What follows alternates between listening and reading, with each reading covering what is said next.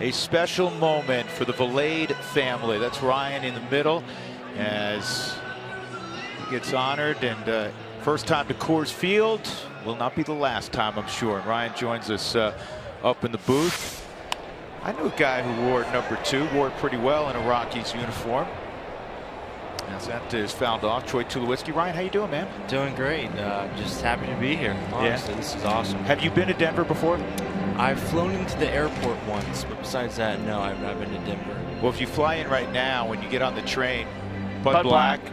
Right. He tells you welcome to Denver and, and, go Rockies, that sort of thing. Right, yes, sir. Yeah. Hey, Ryan, did you have any idea that the Rockies might draft you when it when it came to draft day? You know, we a little bit, yes. I thought I knew they were one of the, the teams that were interested in me, and then once the the spot was open, they uh, they drafted me, and I couldn't be any happier. So it was awesome.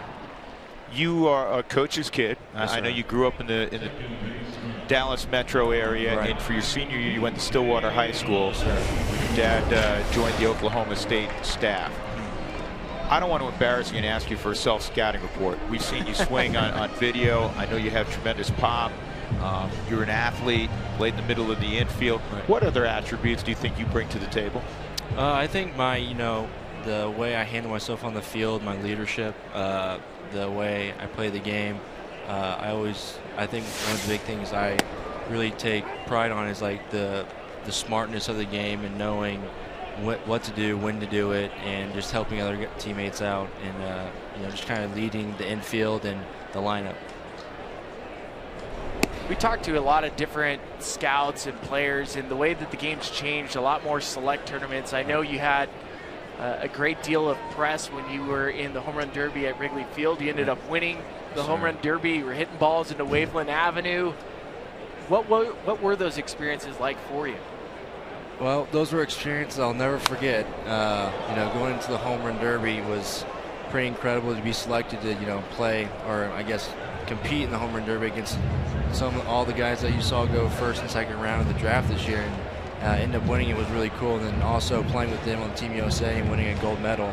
Uh, that, those are something I'll never forget for sure. How many of those guys are you have you kept in contact with? All of them. We have a group message, and uh, we're always texting each other. So yeah, we're really close. It's a good bunch.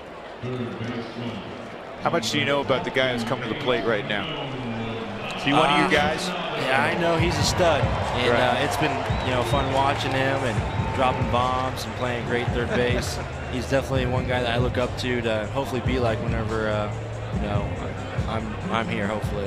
Hey Ryan, what piece of advice, uh, of I'm sure many pieces of advice that your dad has imparted to you, what what do you remember most? What sticks with you the most about what dad's told you as you've grown up as a player? Yeah, the one thing that's really stuck to me is you got to get better every day somehow, some way. Uh, whether that's studying film or working on your swing, there's something you have to do every day to, you know, become a better player. And that could be eating healthy if you're in the off season, or uh, just studying the game, getting good night's sleep. All those things matter.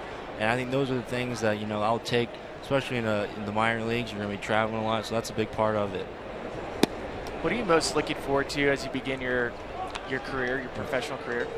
Uh, you know, playing every day. You know, you know, in high school you play, you know, Monday, Tuesday, and then you have the rest of the week off. I'm ready to, you know, play every day. So if you have a, you know, get a lot of at bats and uh, a lot of repetition, and just you know, meet new people, explore uh, new parts of the, you know, the country, and because uh, this is my first time going to be in like the the Colorado, Utah, right. Montana area, so you know, it'll be cool. There'll be a lot more mountains than Oklahoma, I'll tell you that. yeah, yeah. So, you like the outdoors a little bit? I do. I like to. Me and my brother are big fishermen. We like to go, you know, fish in our pond, and uh, it's uh, it's fun. Hey sure. Ryan, you're gonna love it in this area. We can't wait to see you here on a regular basis. Congratulations. Thank you. Thank you so much. It's been fun. Thank Top you, pick for the Rockies, Ryan Vilade.